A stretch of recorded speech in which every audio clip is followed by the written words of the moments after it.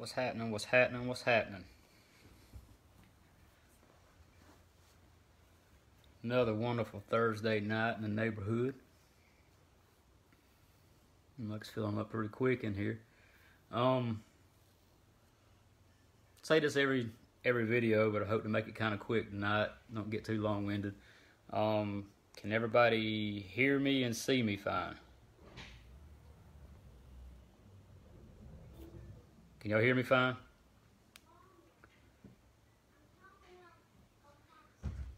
Alright, um, just gonna go over a couple of quick things tonight that, that we get a lot of calls about, a lot of questions about, and there's a lot of confusion about it on the internet, um, and all these karting forums, mini bike forums, and stuff like that. Um, you know, when it comes to, you know, an actual stroker crankshaft or what some people call a stroker rod, you know, which is, you know, a long rod uh, what, the, what does each of them do? What are the pros and cons of it? What are the benefits of it? I'm to kind of go over a lot of that tonight and show the differences. I know a lot of y'all know this. Um, this is, you know, like I say all the time, this, if you're sitting there going, you know, well, I, I know all this and, you know, I'm, we waste your time watching my video this isn't for you. Um, this is for the people that are trying to find answers on the internet that, you know, have researched it and, and are confused about it, about, you know, what does what and which actually is or isn't. I'm going to kind of go over all that tonight and kind of clear up the air for you. Um, uh, first of all, um, there is no such thing as a stroker rod. Uh, I see it all the time on the internet, um, in forums. Um, we get calls about it. Um, people call up and ask about carburetor and cam selection. I ask them, you know, what all's been done to the engine. And they say, I got a so-and-so cam, a little bit of head work, a stroker rod, you know, this and that and the other. I'm like, hold on, let's back up. Do you have a stroker crankshaft or a long rod? Are you using a stock crankshaft or a billet rod? Um, like I say, a, a, there is no such thing as a stroker rod. If you have a connecting rod from us or anybody else, a billet connecting rod, and it has the word stroker written on it, that means it goes right. That means that rod is designed to go with a stroker billet crankshaft, not a stock crankshaft. Um, if you're using, you know, a long rod on, on, on a stock crankshaft, that is not changing the stroke. The only thing that changes the stroke in these engines is the crankshaft. That's it. If you're not changing this, not actually, you know, a billet shaft, but there are other longer stroke shafts out there. But if you're not, if you're, you get a, you got a box stock engine, a BSP engine, a Ducar engine, a 212, the Tillotson, all of the, you know, 31 flavor engines that we got now, if you do not change the crankshaft, you are not changing the stroke. What you are changing is called the rod ratio. Um, the rod ratio plays a big part in, in making power, um, adding, or I wouldn't say adding, but lessening wear, uh, skirt pressure. Um, it can increase cylinder pressure and how that works is here's your typical clone connecting rod or a clone piston. That's OEM, that's actually a 10 over piston. OEM box stock project style piston. Comes in all the engines with one of our fine connecting rods hooked up to it. This is the 6270. This is the stock length connecting rod, stock replacement billet connecting rod. When you put this rod in the engine, it's the same length of rod that come out of it. Uh, what the rod ratio is, is the length of the rod center to center, which this rod is 3.303 in length. You take the length of the rod center to center and you divide it by the stroke of the crankshaft. Okay, here is a stock BSP crankshaft. The stroke on this crankshaft measures 2 inch 130 thousandths. That's what this one measures. So what you would do is you take the length of this rod, which is 3.303, divide it by 2.130. That's going to come out to around a 1.5, 1.55 rod ratio. Now, reason I told you that is because industry standards as far as performance stuff, anything under a 1.5 ratio, rod ratio, is a little on the short side. Um, you want stuff to be in the 5 to you know 1.50 to 1.55 range at the minimum. Um, because anything shorter than that and what it, it what it will do it, it will increase skirt pressure. Meaning when the crankshaft's pushing it around when it tries to go back up it tries to twist the piston inside the cylinder. It increases wear on the side. Um, skirt pressure is what I call it cylinder you know skirt to cylinder pressure um, it also is more violent when it starts and stops. A really short rod, long piston combination, when it reaches top dead center and tries to come back down, the piston stops abruptly and changes directions really abruptly, and it's a violent action. Um, and the longer you make that ratio, like this is this is a a Wiseco piston with a 3.707 rod. This is the longest rod that we make. Um, and when you put a longer rod in it, you have to shorten the piston and put a smaller wrist pin in it in order to to to take away the height that you gain with the rod. And if you look at these two side by side, you can literally put this wrist pin out of the Wiseco piston inside of this wrist pin. That's how small it is, 490 wrist pin. All right, and these these have the same height. When you put this in, the, when you, you take this piston and rod out and put this piston and rod in, and you have to cut some of the top of the piston off to get it top dead center. But it's going to move the piston up and down the exact same as this one does. Um, but what it does is it changes the rod ratio. And why that's beneficial is a couple of reasons. One, because of the longer ratio, it's going to decrease your skirt pressure, which means when it's moving up and down, it's not going to, when the crankshaft is coming up, it's not going to try to turn that piston really hard in the, in the cylinder wall. And also what it's going to do, it's going to, it's going to lessen the starting and stopping of this piston, which a lot of people call that dwell.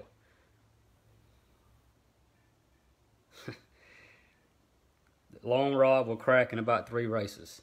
I'm going to get to that. Um, stay tuned. I'm going to get to that.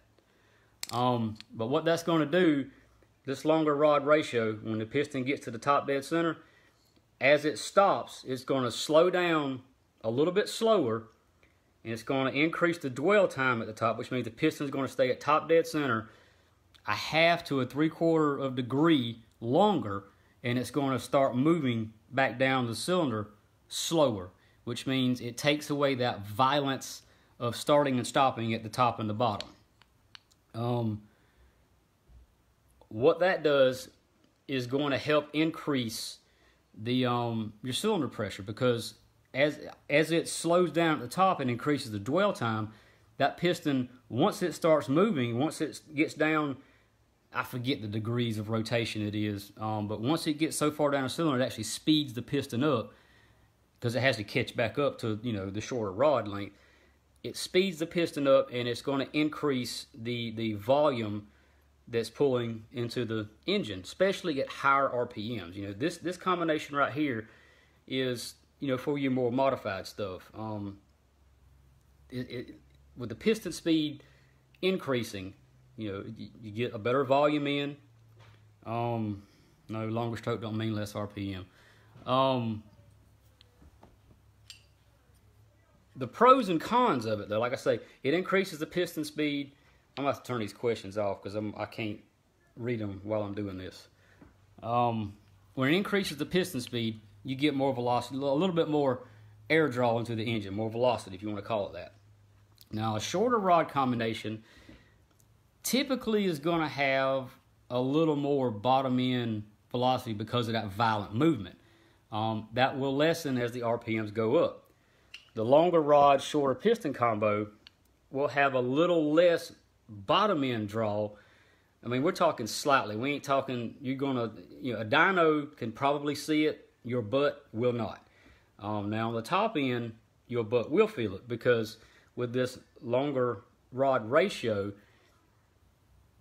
the more RPMs you turn, the faster this piston is going to be, you know, starting, well, not starting and stopping, but once it starts, it increases the speed, draws in more velocity.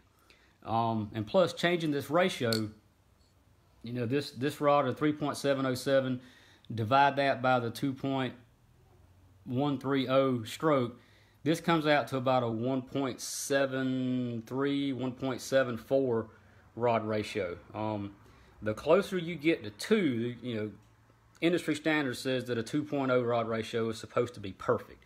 I've rarely seen engines that have, you know, especially small engines like what we're using with a 2.0 rod ratio. Um, but 1.74, 1.75 is way better than 1.5, 1.55. Um, as far as, you know, getting your cylinder draw in, um, decreasing, you know, your, your piston skirt. Well, this piston here come out of a, a gas stock Aprilia engine that's got quite a few races on it. You know, and I'd probably, I could take some Scotch-Brite and well, I don't know. That's got a little area right there. I'd probably run this again, you know, if I had to. But, um, like I say, it just it it decreases the violence of the starting and stopping at the top. Increases the dwell time, increases piston speed through the center of the stroke, um, and also with that longer rod, shorter piston, it gives a little better angle of attack, a little bit better angle of push, whatever you want to call it, on the crankshaft um, you're, you're going to feel a performance upgrade by going to this um, because of the different ratio, the less drag on the piston skirt, got a little better attack on the crank. Plus, this piston, as it is right now, is about 25-ish percent lighter than this piston is because of that gigantic wrist pin that's in it. Um, you get a lighter wrist pin. Now, with this being a 3707 rod, you're going to have to cut some of the top of this piston off um, to get it to sit flush in the deck. And what's his name? Kevin N. Causey. Pay attention here. A lot of people using this rod, you know, they say, oh, they crack in the wrist pin, yada, yada, yada. Here's why. A lot of people are using Wiseco pistons. This is one of our three-ring pistons that has a notch for rod, clearance, or whatever inside that piston. It's cut out probably 20 thousandths, 15 thousandths, whatever.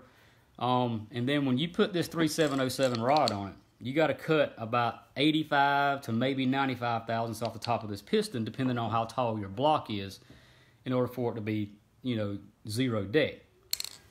When you cut that much off the piston, and it still got and it's got that cutout in there. The very center of this piston is very, very, very thin.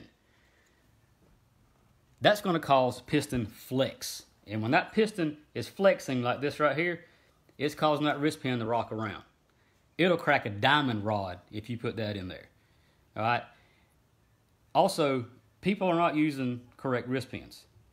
These wrist pins out there that are thinner, they're lighter. Hey, we're going to go faster. No, what you're getting is a lighter wrist pin that's going to flex more and going to cause that rod, any rod you put in there, to crack after a certain amount of time.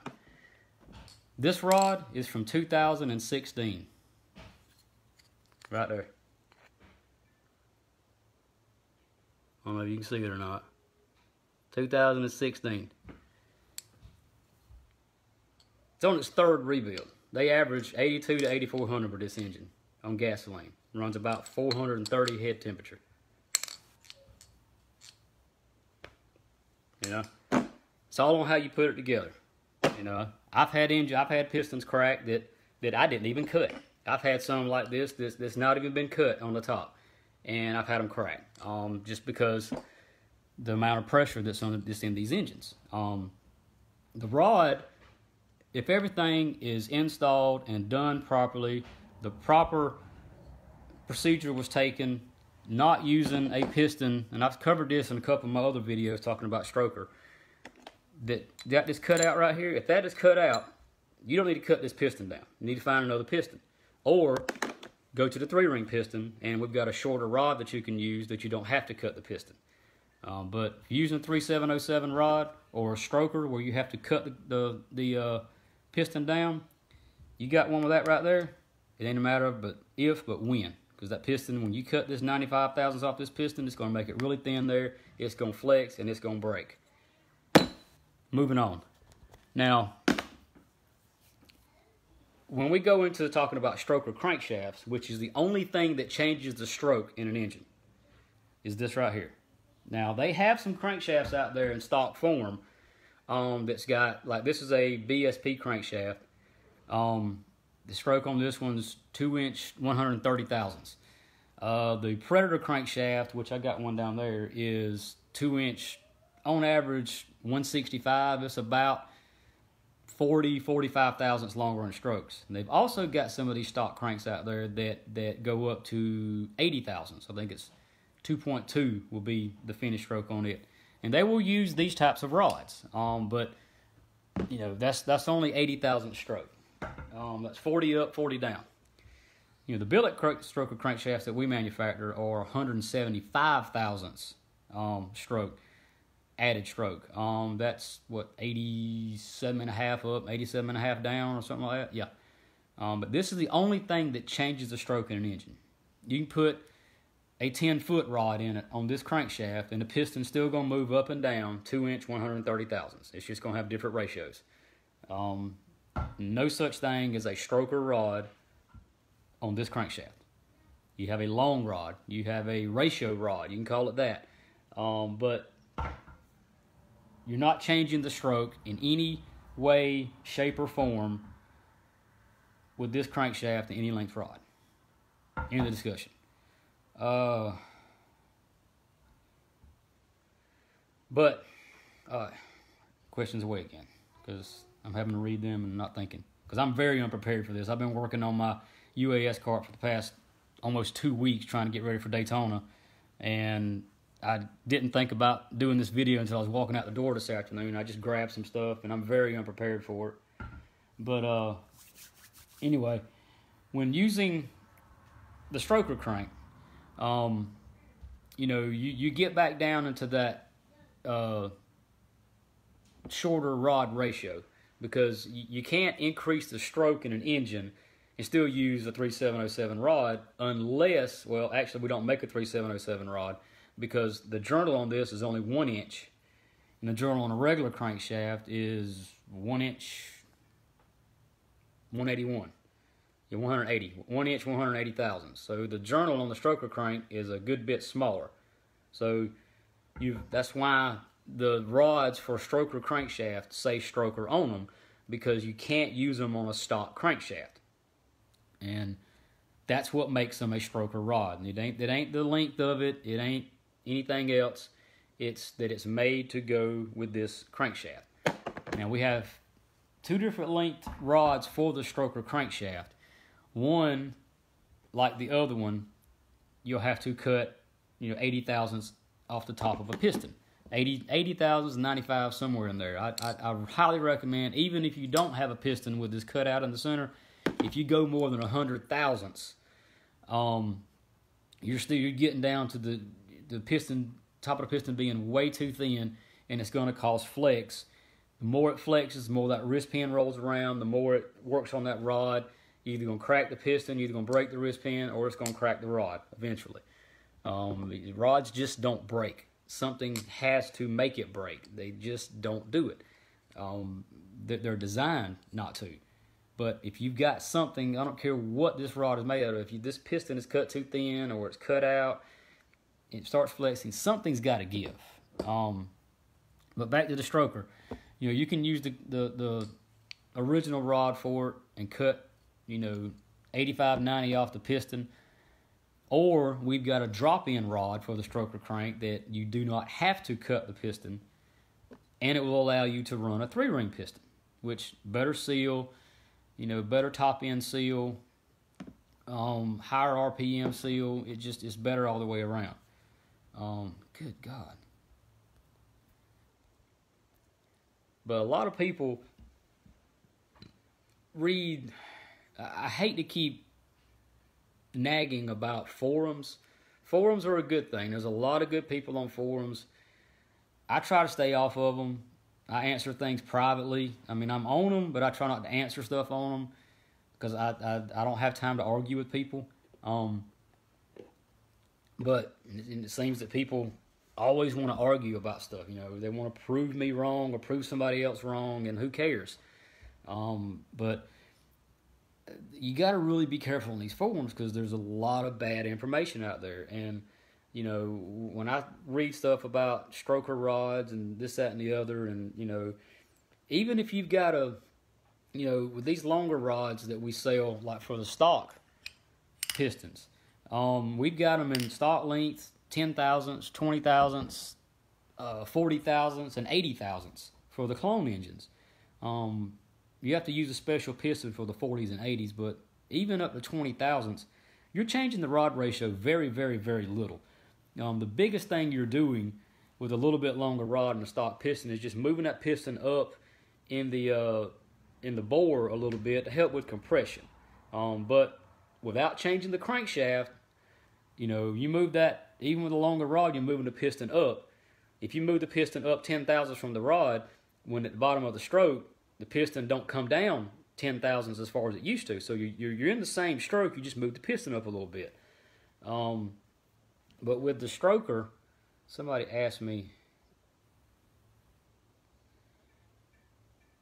I'm sorry, I just wanted, I, I saw a, right here, longer stroke equals less RPM. Not true. Um, a longer stroke will make power quicker, but you can still turn at the same RPMs. Um, you know, when, when you got, when you change that dwell time of the piston with the stock crankshaft and the longer rod, that thing dwells at the top end a little bit and speeds up in the center, which helps draw in better air. Now with a stroker, an actual stroker, the 175 like we sell, it's moving down further in the in the cylinder, which adds more draw, which is going to add more cylinder pressure, which means even with the same cam, it's going to have more velocity. It's going to pull in a little bit more air and it's going to compress it a little bit better. Um, it, it's going to make more cylinder pressure, which is what makes power. You know, you hear, you hear everybody always talking about on these forums about flow. My head flows this, my carburetor flows that, my exhaust flows that. You know, I had diarrhea the other day and it flowed better than everybody else. You know, flow is only a certain amount of horsepower. Um, you got to have flow. You got to have velocity.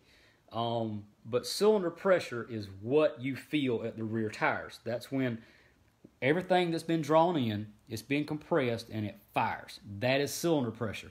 And the more cylinder pressure you make, the more power you make, the more it lays you back in the seat. Um, flow is only part of it. Um, but when you that that stroker crank is moving the moving the piston up and moving the piston down more than the stock crankshaft is, so it's drawing in more air. These engines are nothing but little air pumps. The more air you get into them, the more fuel you can put to it, the more power it's going to make. Um, but the longer stroke makes power a little bit quicker. Um, it's going to make power more through the entire curve. Um, but probably what you meant by that, longer stroke, means you don't have to turn it as many RPMs to get the same power band as the stock stroke crankshaft did. Um, stock stroke cranks, you know, we, we we turn them hard. We turn them very hard. Um, strokers, typically, I don't turn them over about, you know, 8,500, 86 at the most. Um, you know, you do your head work right, you get your cam work right, carburetor right, you don't really have to turn them that hard to get to the power band. Um, you know, people say there's no replacement for displacement, and that's true. You know, usually more CCs, more cubic inches is going to make more power. But in order to get that same around the same power with less stroke or less cubic inches, you usually have to turn more RPMs with different cams and different heads and carbs to make the power in the upper RPM band that you lost in the bottom. Um, whole nother video for that, which I probably won't ever get into that kind of stuff. But um, stroke makes more power. Um, bigger bore makes more power. You know, the bigger your piston is. You know, here's a, this is a, actually a 2815 piston and here's a stock clone piston, you know, to show you the differences in size. You know, it's it's a good bit bigger. Um, a bigger bore is going to do kind of the same thing that a stroker does. Kind of, kind of not, but it's increasing the size of the, the cylinder, and that bigger bore is going to create a little bit more draw, a little bit more vacuum, if you will, velocity, whatever you want to call it, and it's going to pull in a little bit more charge. Um, it's always the biggest debate, you know, what makes a better, you know, what makes more power, what makes a better curve, a bigger bore or a longer stroke? Both. You know, if you're going to go, you're going to do it. There's no replacement for displacement. Um, a bigger bore is going to make more power than a stock bore. A longer stroke is going to make more power than a stock stroke. A bigger bore and stroke is going to make more power than all of them. Um, I said I wasn't going to tell this analogy, but I got to because this is how, if you've ever called me on the phone and asked me about, you know, does does a bigger bore and a longer stroke really make a difference? Does it make that much difference? I tell them to hang up the phone and go ask your wife. Sometimes, like Forrest Gump says, you got to explain things to men in ways they'll understand it. Um, yes, a bigger bore and a longer stroke makes a difference in a whole lot of things in your life, especially these engines. okay, but um, it just it creates more intake, more draw, more velocity. It gets more air in the engine. It compresses it better, and it makes more cylinder pressure. And that's what you feel at the rear tires. Um, kind of got off subject here a little bit. Um, let me look at another couple of questions here. I thought I saw one from.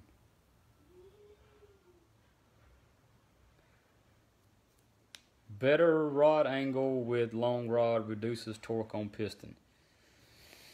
Uh, it's just you just that's just worded a little different. Yeah, better rod angle with longer rod it reduces, you know, um, skirt drag on the cylinder. It just it tries it tries to keep the piston at a better angle, um, better angle attack on the rod. It's gonna push it. It's gonna push the crankshaft.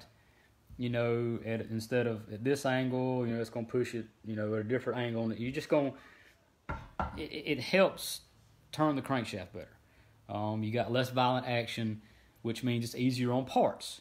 Um, those of you that run a lot of modifieds, like stock appearings and stuff, which is my absolute favorite class in the world, is stock appearing. You run these types of rods and pistons in them. And if any of you have a couple of engines where you got this combo in one, well, we got a shorter rod of this too, where you ain't got to cut the piston. Also, it's a 3.595 length. But if you're running the long rod Wiseco piston in one engine and this rod and piston in another engine, you know, you run them eight, nine, ten races, pull it down, and look at the rod bearings. Usually, the rod bearings on this style, the stock style piston, wear out quicker than the Wiseco if everything was assembled right. You know, if it, all the right clearances were met, you're running good oil and you know you're changing like you're supposed to you do everything exactly the same like it needs to be typically the shorter rods um, wear the bearings a little quicker because of that violent start and stop now y'all got to remember these are four cycle engines every every every cycle or stroke in this engine there's something on on top of the piston that's either pushing on it or pulling on it especially at the top of the stroke. You know, you got your first stroke is the intake stroke. Piston goes down, sucks in the air. Um, second stroke is compression. The piston goes up, and there's something on top of the piston, you know, trying to stop it. You know, the air is pushing down on it, it's compressing it. Then you get combustion. It pushes down the piston. The fourth stroke, the final stroke, is the exhaust stroke. That's pushing the gases out. There's nothing on top of this piston to stop it at the top of the stroke except this rod. That's where your your your rod bearing wear comes in. That's where your wrist pin wear comes from. That's where your rod fatigue comes in from. Your piston fatigue because the only thing to stop that piston from going out the top of the block on the exhaust stroke is the rod itself. And the shorter rods, you get a little more violent action, like I say, and it wears the bearings. Not a whole lot more, but it's something that I've seen over the years that shorter rod engines need bearing changes in my engines more than others. Um, but yeah, it does help the wear on the piston, help lower the drag on the piston. It's lighter. Um, that makes the rotating assembly a little bit lighter. It makes power. We'll stock piston rings fit on the Wiseco piston and stock bore as well. Alright, I'm gonna confuse a lot of people here. the um the Predator rings. Do I got a Predator piston here? I do not. I actually took some stuff back to the shop, so I don't have a lot of parts here. The Predator piston rings um, that come on the non-Hemi and the Hemi, the top ring will fit. The bottom rings will not. So, you know, if you're looking for a little, people call up all the time and asking for low tension rings for a Predator. Nobody makes a low tension ring for the Predator because the Predator comes with rings that are rings, rings that are fairly low tension to begin with. But if you've got one that's you've bored, you've honed a little too much, got a little bit too much clearance on it, you can use a Wiseco ring on top of the Predator to give you a little bit more ring pressure inside the block. But the top rings on the Hemis and non-Hemis will fit the stock bore size Wiseco. Not the second ring, just the top one. Um, now let's see how many pistons we get messed up people trying to put rings on.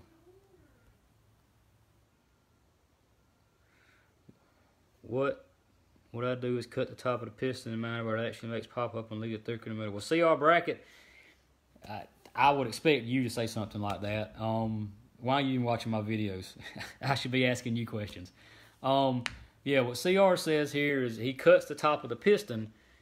You know, there's a lot of those pistons out there. We've actually got some, and I try my best. You know, when somebody orders a piston that I know has got this in it, I'd say, you know, using this for a stroker, using this for a drop-in rod, long rod, whatever. I try my best to make them buy the shorter rod so that they don't have to cut the top of this piston because that thin area right here. But what CR does is he cuts the piston. I'm assuming kind of domes it a little bit, you know, makes a cone, but he leaves this area up here thicker than he does this down here. You know, he barely cuts here and gets, you know, deeper and deeper and deeper and deeper all the way around which leaves this sticking up just a little bit, which is going to go up in the head. You're going to have to watch out for piston to valve clearance that way, but you know I, have done the same thing. That's how most of my 390s and big blocks are with flat tops in them, is I dome shape them. Uh, you know, to to I do it for other reasons, but for that's a good thing to do for these if you've got those pistons. Good idea. Thanks, CR. Uh, how much horsepower is the billet stroker crank good for? I get this question a lot, and it's a loaded question. Um, in engines that I've done, if I've taken, I've done a lot, I've done some work. It's been probably two years ago. I took an engine.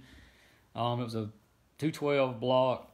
I, I think I had a F F 275 cam in it and 390 carb or something. But I started out with the flat top Hemi piston and a stock length rod. Put the engine together, dynoed it, got my best results. Then I went to a uh, the drop-in long rod, which I didn't have to cut the piston, um, and seen a horsepower. You know, I think it was it had a 28 millimeter intake, 390 carb, bored to 900, F275, one to three rockers, and um, when I went to the long rod Wiseco, I seen a little over a horsepower gain throughout the entire curve without touching anything else. Um, I tuned the carb a little bit, messed with the timing, and got in a couple more tenths, but it was a just about a solid horsepower from start to finish. Then that same engine, I took it out. I used that same piston. I cut it down. This is before we made the shorter the shorter rod for the stroker. Back then, you know, we got two rods. One you got to cut the piston, and one you don't. But this is before we made this rod.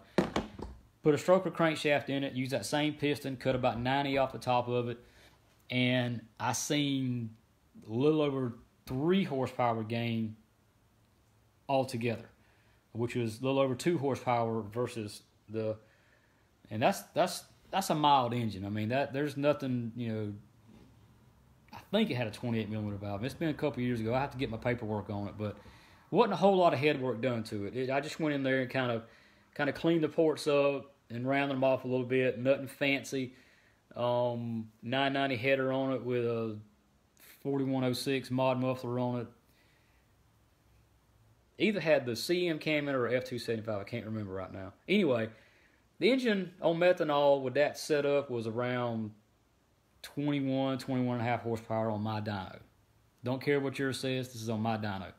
Dynos like shoes. Everybody wears a different size, but it's around 21 horsepower, and I found a little over a horsepower with the long rod, then about two and a half more than that. So we was, you know, pushing 24, 25 horsepower by changing these products. Now that's going to vary from engine to engine. Now you take the, yeah, I say, I'd almost guarantee two horsepower in anything you put it in. Almost. I mean, even a stocker engine.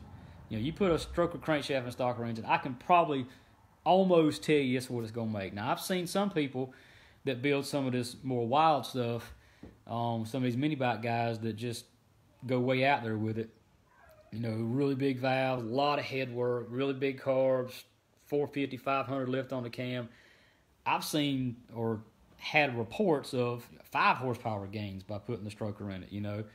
And then, you know, you go to a 2815 or 3 inch piston and you can get, you know, probably six or more horsepower, you know, over what you're doing there. Um, but it's going to add horsepower to anything you put it in because it lengthens the stroke. You know, like I was saying before, it's going to move the piston down 87 and a half thousandths more than what it was. It's going to have faster piston speed, you know, through the center of the stroke, and it's just going to make more power all the way around. It's going to get to the power quicker, and it's going to hold the power longer than a stock crankshaft. Um, but that's typically off of the stuff that I've seen.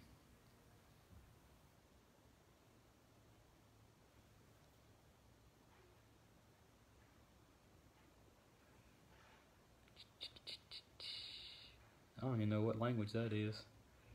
I appreciate you being on here. I just can't read what you're writing. It won't. It won't uh, fix it. What's the ideal gap between the connecting rod and the piston? Any of all of our connecting rods are you don't have to clearance a piston for our you know for any of our rods. All all of our rods fit in any piston out there, I believe.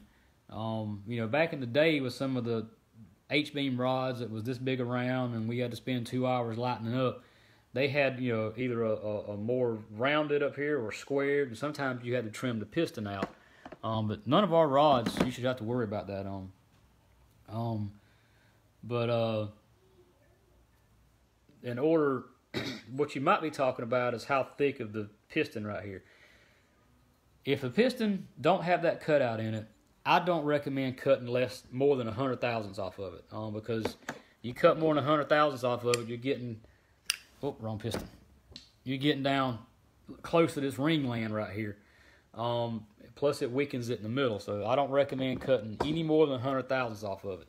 If you have to cut more than that, um, you might want to try a different block with a little taller deck height on it. Uh, but anything less than that, and you just you're risking too much, especially the bigger piston you go. Now, like a stock bore clone is only what 2.776 or 786, something like that.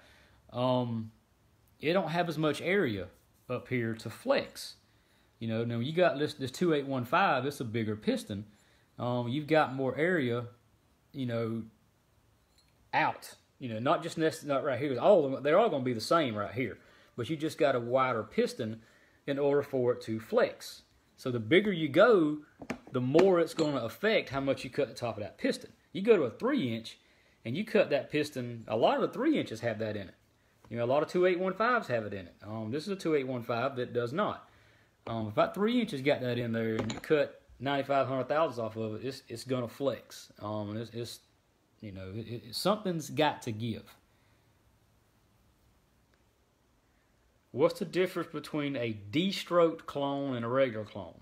D-stroke clone has got shorter stroke um, a shorter stroke. Uh, people say they rev quicker, um, they'll turn up quicker and all. Yes and no. Um, what you got with a short, like I was saying earlier, with a shorter ratio rod, um, and a possibly a shorter stroke, but mainly a shorter ratio rod, you're going to get a little bit more bottom end velocity as far as the, the draw into the engine. um, because of the quickness that it leaves the top of the cylinder. Um, but I still don't. I, I can't figure out why people take a 212 engine and purposely put a shorter stroke crankshaft in it because you're just taking away from the total CCs of the engine. And Hey, hey, buddy, I got this racing book. you got a racing book? Well, let's get up here and show everybody our racing book. Hey, we got Hey. a racing book. We got a racing book. See that racing book? Can you see it? Hey, show this right here. Show your shirt. Hmm. See that shirt? Yeah. What does that say? It smells like poo poo. Fresh air. That smell- It does smell like poo poo. you might smell like poo poo. It smells Are you, gonna show off your boom shirt? Show that. smells like poo poo and fresh air. I don't know why I say that. Look at Say look, say look at my shirt. So I, I, I get I get fifty percent off the next set of tires I get, right?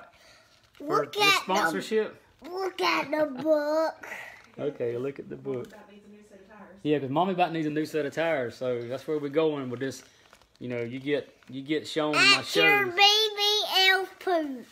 What is with you and poop tonight? Cookie monster. Cookie monster. Yeah. Yeah, are you a cookie monster? Yeah, you monster. are. See, baby. All right. Well, you done? Oh, since our last show, if y'all noticed, he he had to get glasses. He's got his mama's vision, which he got frightened when he saw me for the first time. I guess he was like, "Oh my God, I'm gonna look like that when I grow up." All right, you show everybody your book. Okay. Well, can I get back to it, or are you just gonna take over? You just want me to move and let you take over? Show everybody that- race car. Show everybody the race car in there. There it is. And a monster truck. Mm-hmm. Race car. Race cars. That's good. Well, right, I see it, baby. All right. I like baby booties. Bye bye losers. Booty. All right, Stephen Reynolds. That was your fault. Stephen Reynolds taught my kid to say that. So if any of y'all see Stephen Reynolds, y'all blame me for him saying that. Hey, don't touch the crankshaft, baby. They'll cut you. No, engine. Yeah, there's engines. That's right. And I'm glad you y'all heard him say engine or not motors. He understands the difference. I gotta build a race car. All right, well, you sit there and build a race car. I'm gonna go back to talking. All right. Uh, where was I at? Where was I at? I have no idea. You're not watching? No. Mom, wife don't even watch my show. How about that? Um. Oh. 212 D stroke. Oh, you got a chain. I wouldn't pick that up, buddy. That's greasy. Hey, here, here, wipe your hands off, baby.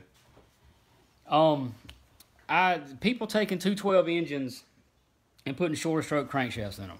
You know, and I ask them why, and he won't leave.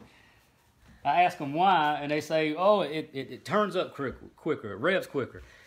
Well, you're you're you're losing power. I mean, that's Don't forget the gross pickle. you been eating chocolate or something. What's your problem tonight? I ate a disappeared pickle. You ate a disappeared pickle. Yeah, Yeah. it disappeared. It did. Oh, tell everybody bye. Do not. Oh, tell everybody bye. Say bye, y'all. Mm. Bye, y'all.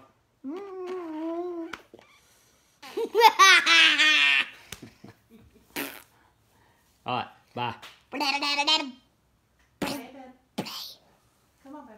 no, Go down with mom, baby, so I can finish. Please. no.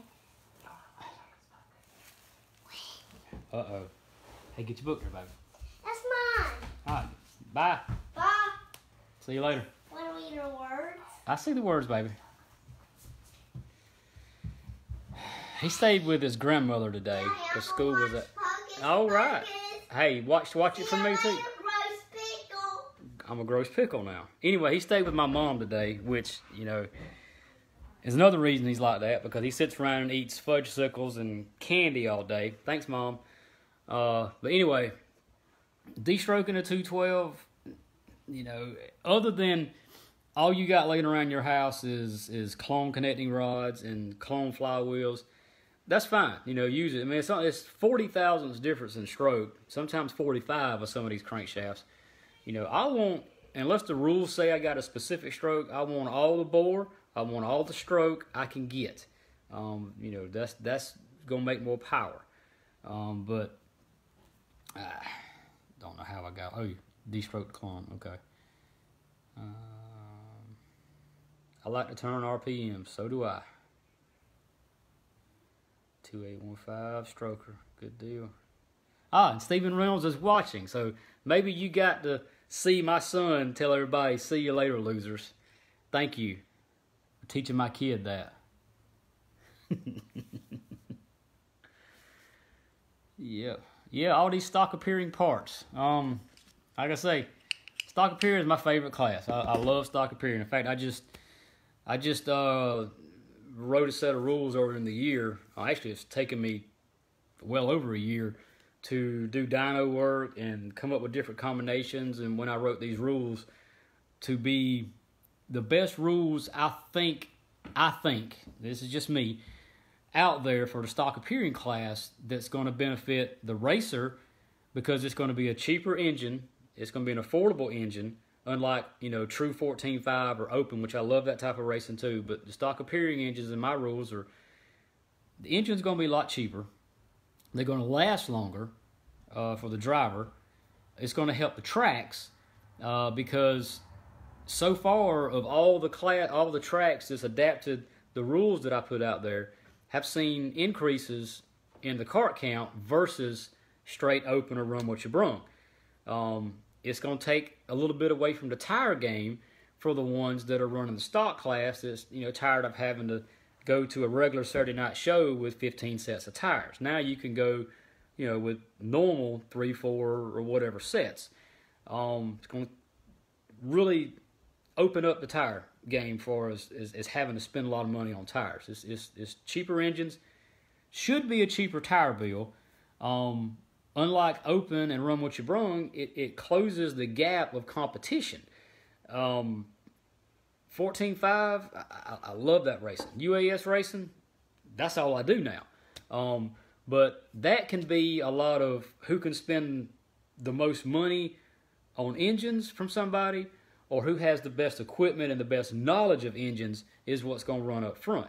And you have wide gaps of, of, of competition. You know, uh, unlike the stock appearing, there's only so much you can do, especially with the rules that I've written. You got a lot of room in the head to work, a lot of room in the carburetor to work, um, but it keeps the, the competition level a lot, lot closer than true open does, which makes the racing better, which means more people you know, I'd rather run fifth, sixth, or seventh in a field of 25 than win with just four go karts. That's me. I'm a competitor. I like to compete. Um, me running fifth, sixth, seventh in a field of 25 this week, I'm to work harder uh, with my setup. I'm going I'm to get more seat time. I'm to figure out the track better. I'm to do more, you know, air pressure adjustments. I'm, I'm going to work on the kart to try to get better because winning in a class of 20 or 25 is way better than winning with a class of 4. That's why I like stock appearing. That's why I push stock appearing so much. It's it's better for everybody. It's better for the drivers, the racers, the spectators, the track because the more stock appearing karts you get coming in, the more spectators that come in because every kart that comes through the gate, you can average 2.5 people with it. That's just an average.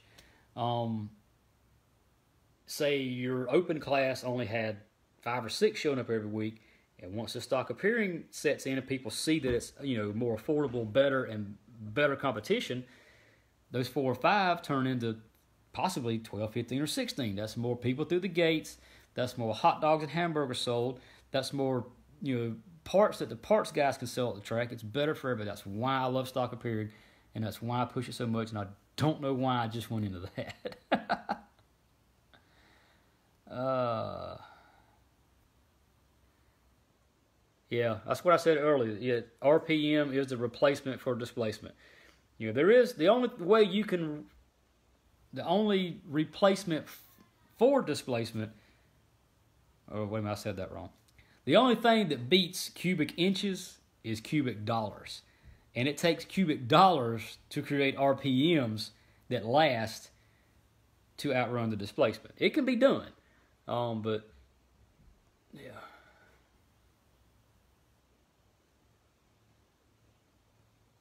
Okay. I answered that one. I scroll down and here's someone asking me about. Can you talk about the stock appearing rules? Um, yeah, the stock appearing rules I that I, I, I wrote and and these are tested rules, man. I, I built several engines and I've I've wore out my dyno trying to find. You know, do I need to go bigger valves, smaller valves? Do we need to allow stroke? Do we need to allow big bore? And the reason that I limited the stroke, limited the bore, is because that's where a lot of the money is spent. And it goes to show you that I'm writing these rules to help the sport in general. Because the first thing I did was make my crankshaft illegal. Uh, this is going to save the racer 390 bucks. Right here. You know, stay with stock crankshafts. These engines, you know, stay with you know the stock size 212 valve, which is 27, 25 millimeter. You can do you can do head work. You can get great flow with that. These engines on methanol made in the area of you know 22 horsepower on my dyno. Cat's on there kicking something. You know that's that's they might make 45 on somebody else's dyno. They might not make it 18 on somebody else's. Don't know. Don't care. Um, hey, Redbeard just messaged me. Yes, the Redbeard from Redbeard's Garage on YouTube just messaged me during my show. You know you made it when somebody like that does it. All right, Craig, you, Greg, you just uh, got a free plug in my show, so I want a hat or a T-shirt or something.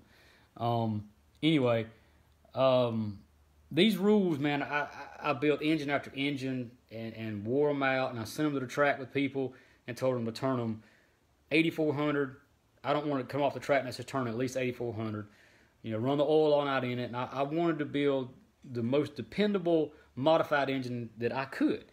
And that's where these rules come into play at. You know, limit the stroke, limit the bore, let them go wild with everything else. Because there's only so much you can do. You know, most of your work, power not going to come from the head. Um, it's going to run stock appearing carburetors, which is, you know, the clone. Hold on a second.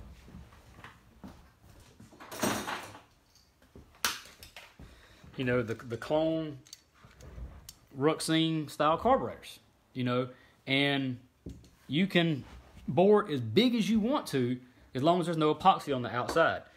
And the first uh, comment I get is, well, a 390 carburetor is stock. No, it's not. If it doesn't come on a GX200, on a Clone 196, on a Predator Hemi 212, a non-Hemi Predator 212, the Ducar 212, if it don't come from the factory with that carburetor, it's not legal. It's got to be the one that comes from the factory. You can do anything to this carburetor you want to. You can polish the outside. You can chrome plate it. You can, you can gold plate it and put sparkles on the side of it with diamonds. As long as there's no epoxy showing where you cut it out.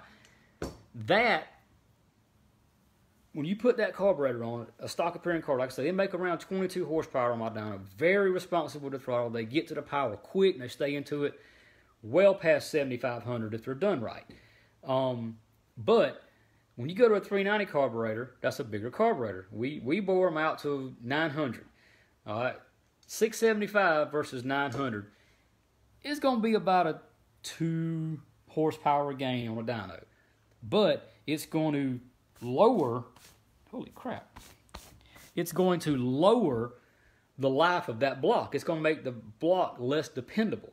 Um, it's putting more cylinder pressure on because you can't weld on these blocks. The blocks have to, you know, it's got to look like stock engine. I don't want all these things welded on. You can use bolt-on braces, but you cannot weld on it unless it's for rod repair. And, um, you know, start with a genuine Honda block, 675 carburetor. That engine will last you at least a whole season if it's built right and taken care of. Um, you put these limiting factors on it not to weigh people down, but to help people in the long run. Um, and that's that's that's what I learned on the dyno um, is and at the track.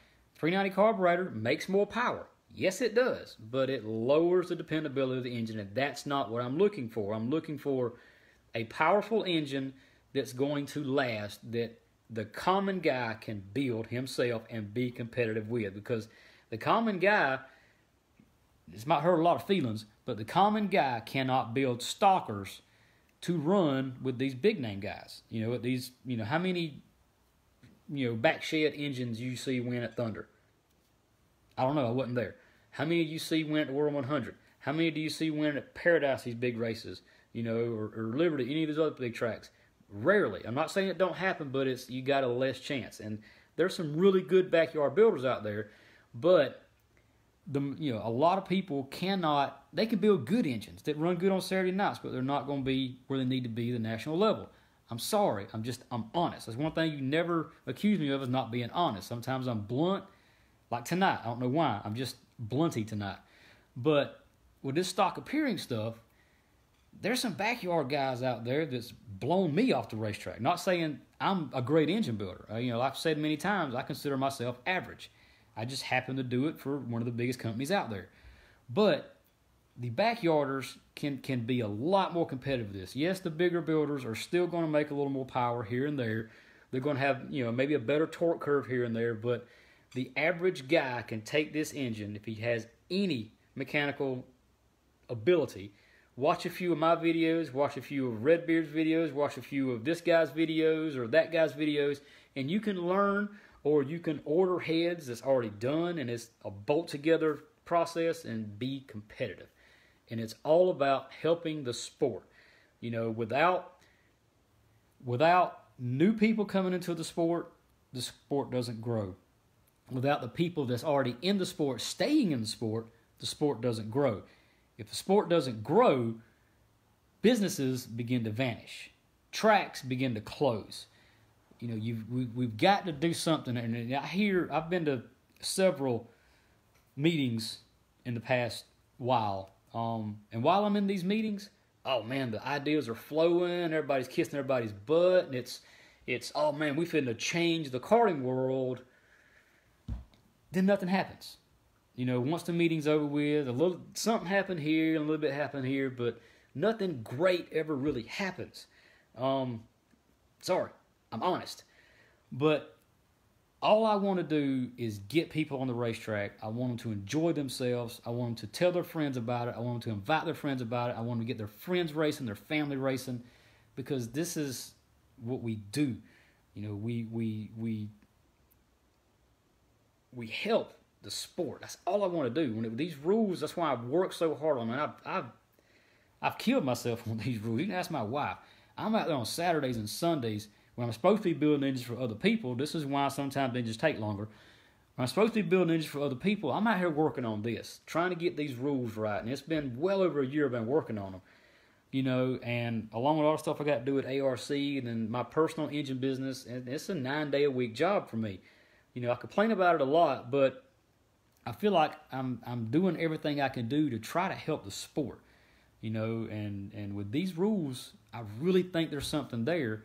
And if tracks take it and and and stick to the rules, because a couple of tracks has taken them, they already want to change stuff on it. Well, we want to let them run this, we want to let them run that. Well, then you're not running the rules. You know, these are tried and true. They the best rules out there? No. Can there be improvements in them?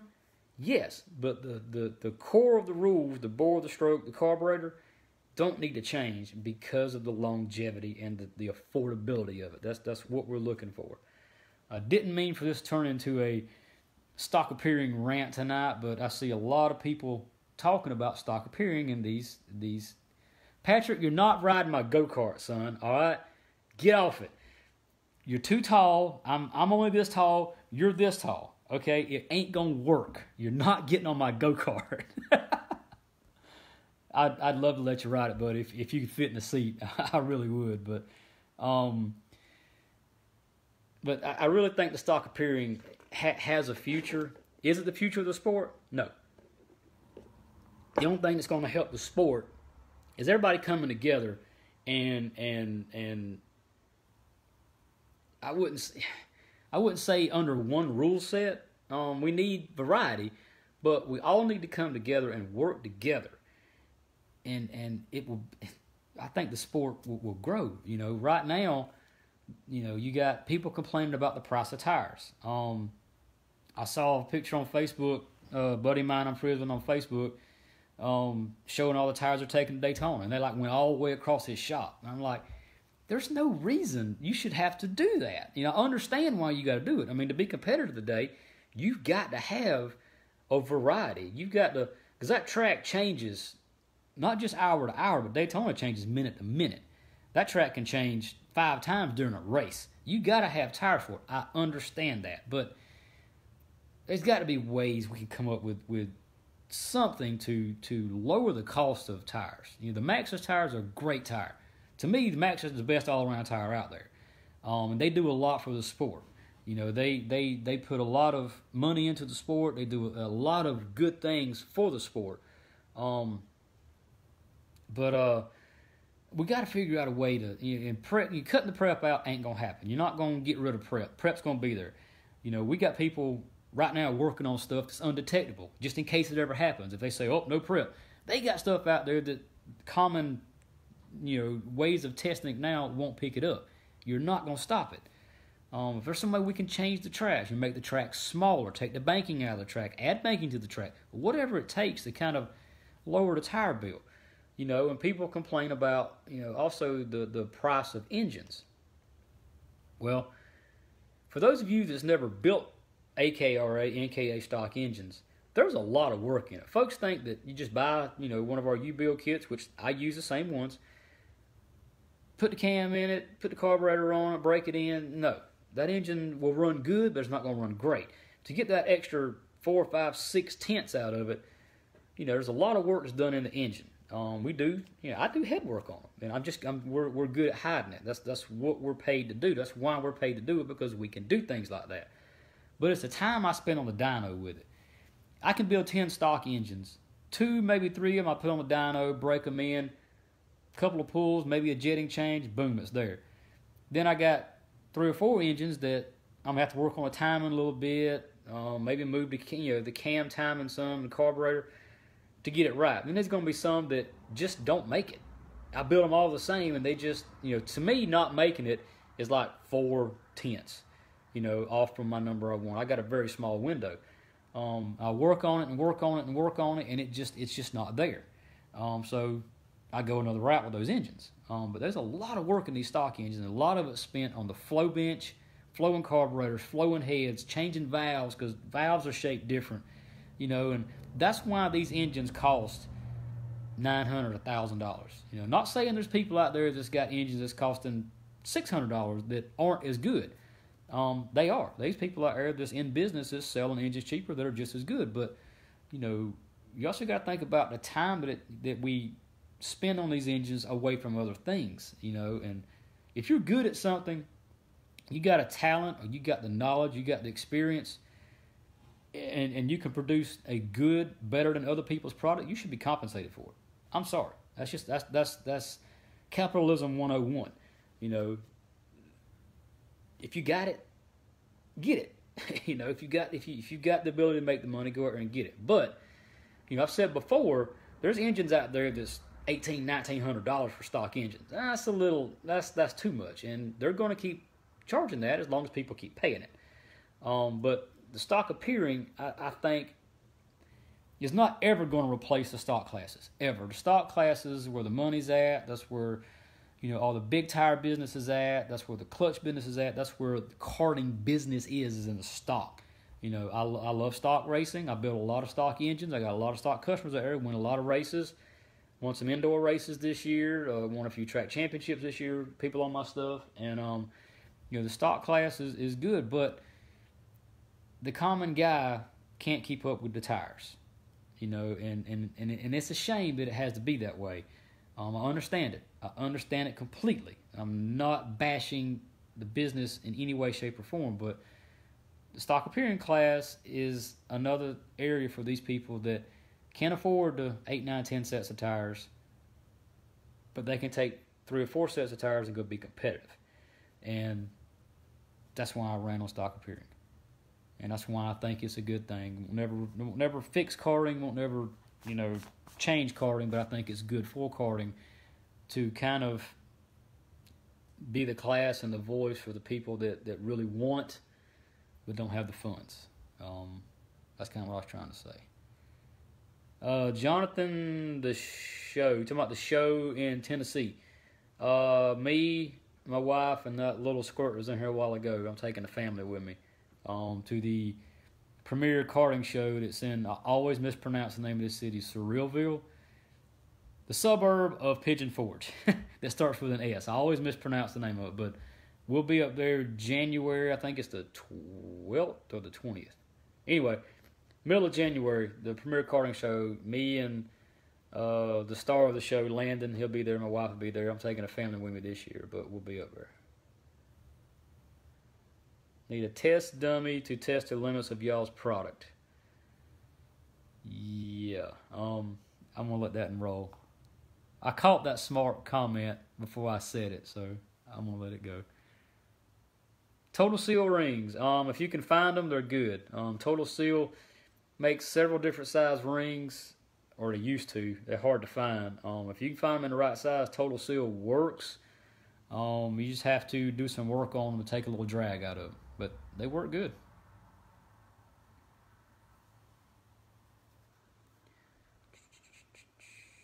Now, like I say, these questions here, I usually can't see them all, but if I miss anything, I'm gonna go back. I usually go back and I answer them either after the show or the next day. Um,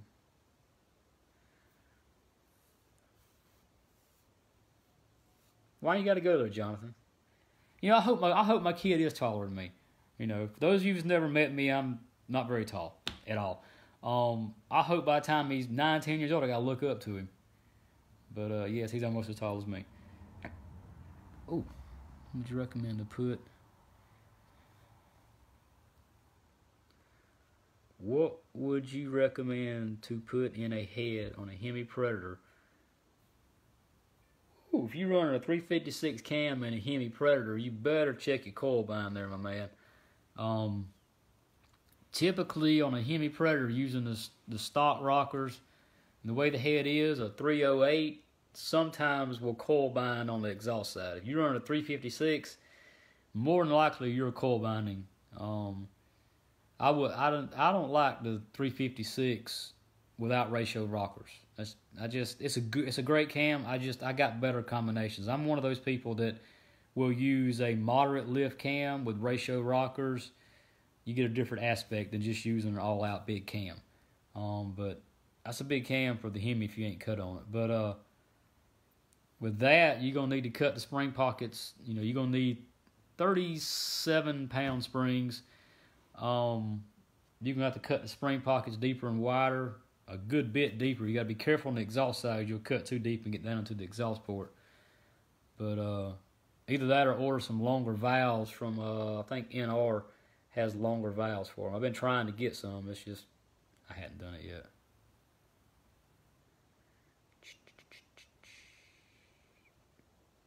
Okay.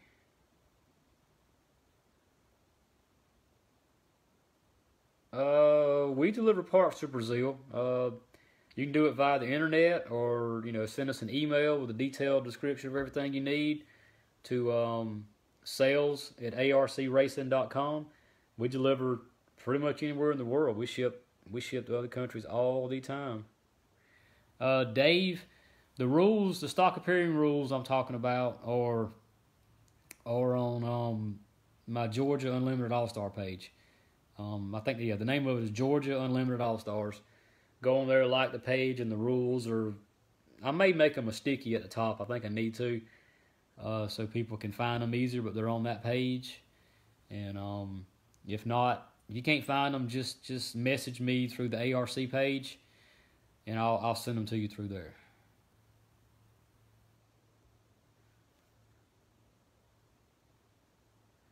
All right, Mike Warner wants to know about the animal. the animal, when it comes to rod ratio, is a whole different animal.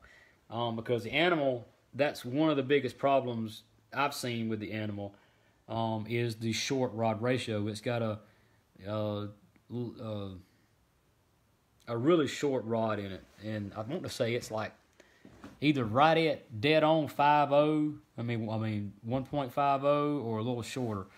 Um, but it's got a really really short rod ratio, and that's why it's hard to keep connecting rods in them if you run a limited.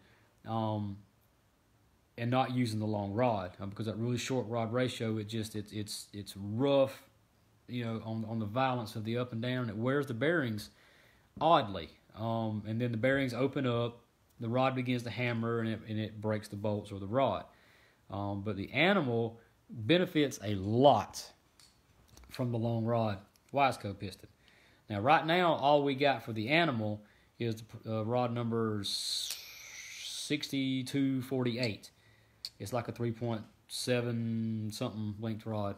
That's sad that I don't know that.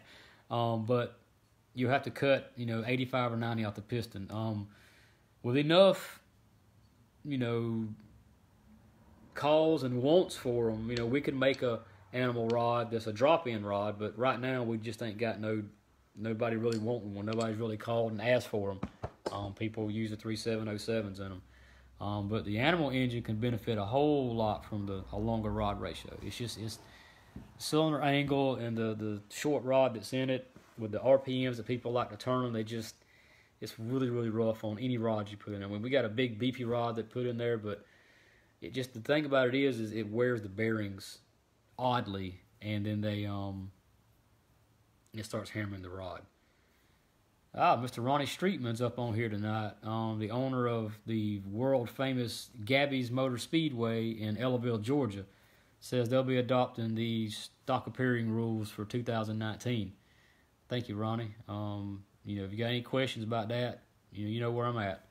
Um, I'm planning on. That's why I'm building a new a new UAS kart, um, so I can take the UAS kart that I previously got and run it on Saturday night UAS shows or pop that body off of it, put the side panel, you know, the stock sides on it, and run it in stock appearing. Um, it tracks like yours. Um, so you know, KT's got one. I got several folks around here that's going to be on stock appearing. So you know, you got us there. But like I say, the animal, um, really short rod ratio. Um, that's one of the biggest problems I see with the animal. Um,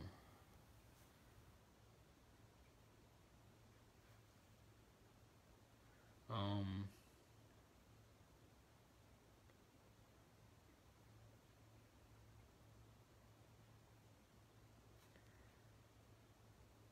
let's see. Uh, just a lot of. Grant, I'm I'm not coming out of dark ages. I just turned my phone the opposite way. You know, normally, uh oh, now it won't do it. Uh oh, it says I can't turn it while I'm recording. Okay, never mind. I just turned my phone down. I don't like it like this because the screen is so narrow. I can't use my stool here. I got parts on the stool there that it won't show. That's why I normally have my phone turned up so I got a taller view so I can see what I'm doing to make sure I don't look like a complete idiot. I may sound like one most of the time. I just don't like to look like one. Um, but yeah, I just rotated my phone down. I did steal some lights from the shop um, because my other ones, when the hurricane come through, I got like lights all up here. This is I'm I'm on my pool table in my front room, and I got a billiard light that hangs down up there, and um, I got lights hanging all off of them. But when the hurricane come through, I used some over here, and took some to the shop up here, and the last video I done, I forgot to bring them home, and the lighting was awful. And also, I brought some home from the shop. But yeah, I'm coming out of the dark ages. Yay!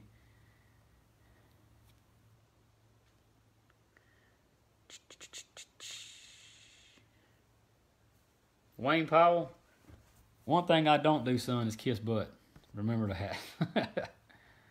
never have, never will. Uh, let's see. All right.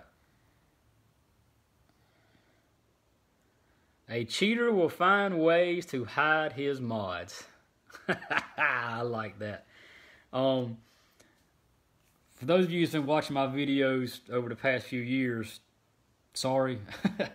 um, I wish I could have done better. But my granddad as a lot of y'all know, was friends with Smokey Yunick. You know, worked with him on and off. You know, throughout the years, and Smokey always had a saying that there's two types of people at a racetrack. There's cheaters and losers. Um, if you're good at what you do, you can cheat every Saturday night and never get caught. That's why some people get paid to do it. Um, but with the work that we do inside these stock heads, uh, it, ain't it ain't so much now. They've kind of loose, loosened the rules up a little bit, and some there's new heads that's come out that flow way better than what we had three four years ago.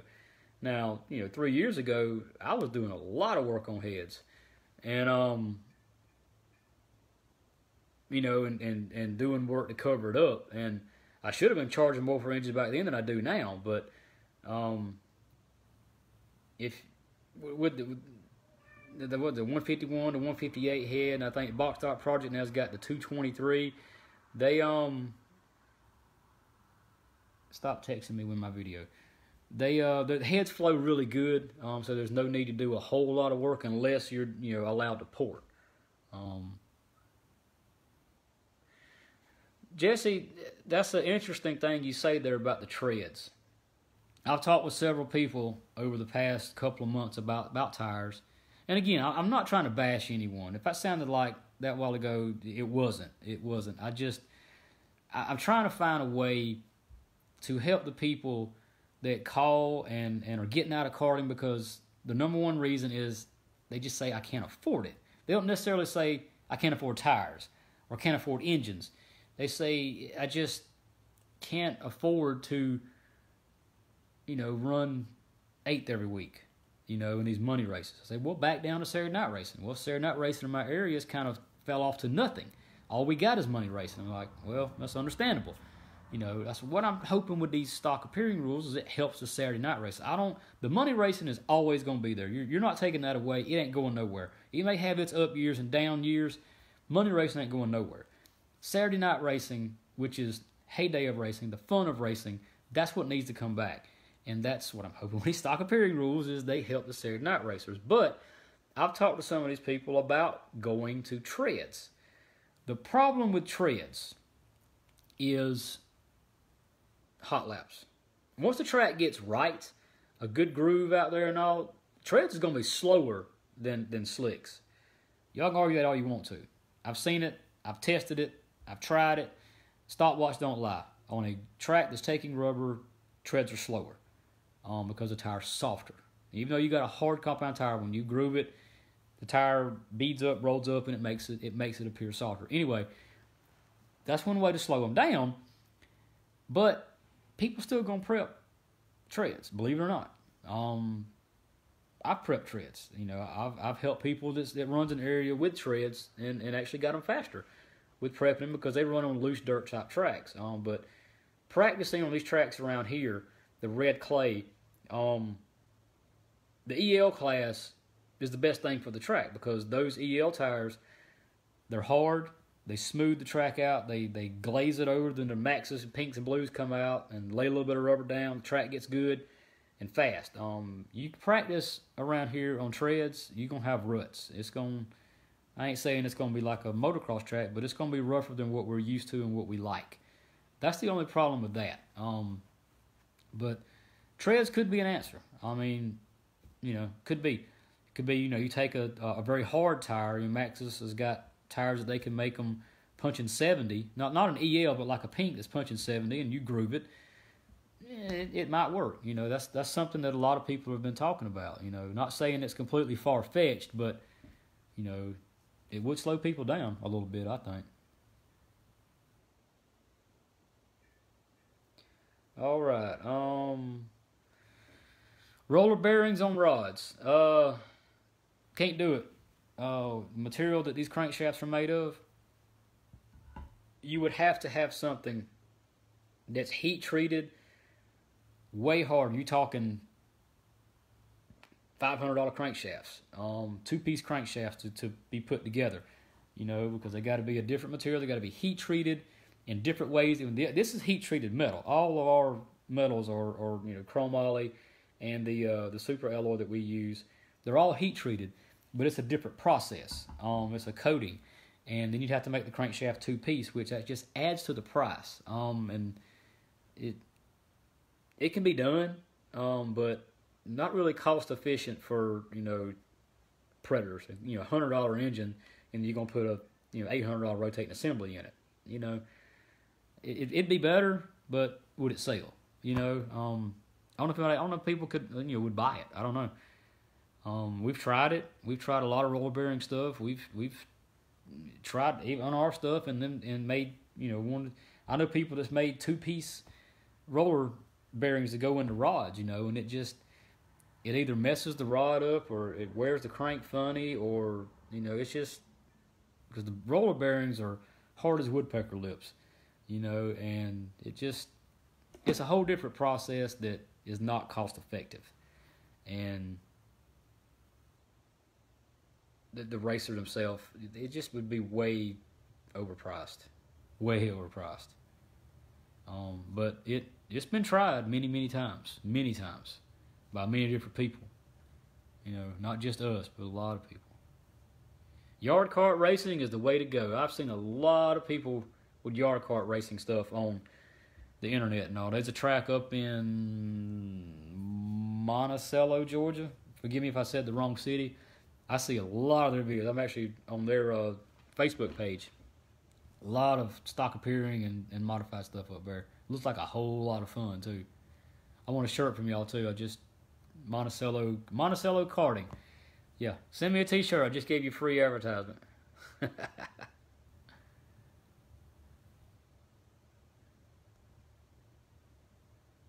the famous Tim Harold is watching me. Oh, I gotta watch my P's and Q's now. All right. I just went through a whole bunch of these questions, and I know there's a lot more on there, but any final questions on rod length, rod ratio, and what is and what ain't? Um, quick overview again. Short rod ratio. Uh, short rod ratio. You're gonna get accelerated skirt wear, um, rougher on the equipment, uh, rougher on the bearings. You know, it just they wear quicker. It's cheaper and easier. Longer rod ratios. Um, a little less piston drag. Better angles. Better piston speed. Um, lighter. Going to make a little more power. You know, a little bit, a little bit better ring wear also. Stroker. Much more piston movement. Much faster piston movement. More air in the engine. More power through the chain. Uh, there is no such thing as a stroker rod. I'm going to say it again. You call me up tomorrow and say, I'm running a Mod 2 cam with a stroker rod, we're going to have a long conversation because there's no such thing as a stroker rod. It is just a rod designed for a stroker crankshaft. All right. I have gabbed enough and Bear Ridge Speedway. That's in that's the Andrew Speedway. That's in North Carolina. That's a long trip for me. Um, I do enough traveling with the with the UAS series. Um, most of our races are in North Georgia, and I'm in South Georgia, so it's a long trip for me. Um, I got a lot of my guys that run at Bear Ridge. Um, I think Cope runs up there, runs to the concession stand mostly, but um, he runs up there, and uh, I'd like to come up there. I really would. Um, may look at going in with some of the Carolina guys on a UAS race up there or something. But um, uh, speaking of UAS in my series, I'm gonna talk about it again. Um, I got a uh, all of you know I, my, my let's see Houston Black wound up winning the championship this year. Really good, really good racing the last few races. Them guys, top three guys, was tit for tat the last three races. One would break, one would have good luck, one would uh, not have good luck. Um, but after it was all said and done, and all of my personal money I spent on it, the custom trophies we make, the leather jacket I gave away, all this, that, and the other, I got a free T-shirt from the company that made them. So when somebody asks me, "Have you ever run a series?" I'm gonna say, "Yes, sir. I've run a series. I've been there, done that, and got the T-shirt."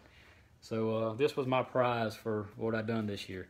Um, but anyway, working on the schedule for two, 2019 for the Georgia UAS series. Um, we're going to run a lot of the same tracks. I'm looking at a couple of new tracks. Um, we're still going to be about a six race series. It's going to start up probably the end of March. And the new stock appearing class will be a traveling class with us. I will, I'm going, I'm to try my best to do, um, I may, and this is a may, a small possibility, but I may do a leather jacket for the for the um, stock appearing series also, um, possibly, but uh, I'm gonna go with a little lower entry fees this year. Um, may not have as big of you know winning purse. I'm not not 100 percent sure yet. I'm trying to work on sponsors. From if I can get the sponsors lined up, we're gonna pay some some some bigger money. Um, but it looks like it's going to be a good year next year. We had a really good year this year, a lot better than what I was expecting. Um, I worked really hard on it. I'm still working really hard on it. Um, but uh, we'll start up around March, and y'all just go to the Georgia UAS page, like it, and keep up with you know all the ins and outs of it. Um, but uh, anyway, all right. Well, that looks like it's about it, y'all, and. Uh, probably gonna be the last video this year. I'll probably start off, you know, January, mid January, late January, or I may just go live from the show up there. I'm not sure, um, but uh, we're going. We'll be at Daytona this year. Um, I'll be running the dirt this year. I run the Speedway last year. Um, hoping I can have a little bit of good luck down there this year. I've worked really hard on my stuff, but uh, we are looking for quite a few UAS guys to show up down there. So if y'all y'all know somebody that runs a UAS in the you know South Alabama, Florida, South Georgia, Middle Georgia area, tell them that the UAS is running at Daytona both days, and um, y'all come down there and uh, I won't be giving away no chunks of aluminum at Daytona. I'm hoping to go win a chunk of aluminum at Daytona, but um, y'all tell them to come on down and join us, and and we'll. Uh, we'll try to put on a good show down there for them. Um, I've worked very little um, with um, Mr. Ed of the uh, Florida UAS series. He's in charge of all that. The, does a great job. Done a good job promoting Daytona. Good job getting everything set up and settled in. And um, so we're gonna go down there and support him because they support us. And um, hopefully have some good luck and a couple of good runs down there. We're gonna run both days. But anyway. Um, this is it for this year. Um, if y'all don't talk to me on the phone or whatever, y'all, everyone have a have a Merry Christmas and have a safe and Happy New Year, and we will see y'all 2019. Um, I'm gonna go live from Daytona a little bit, but it won't be an actual show like this. But anyway, everyone have a Merry Christmas and Happy New Year, and see y'all after the first of the year. Thanks for stopping by. Bye.